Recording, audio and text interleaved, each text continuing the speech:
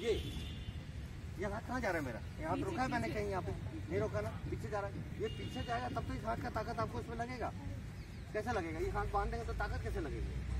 और बॉडी का भी ताकत होगा। बॉडी भी ऐसे रोल तब वो घटता है। चलो। हो गया ना? सिंपल फेंके ना सिंपल वैसा ऐसा है। ये ऐसे। हाँ।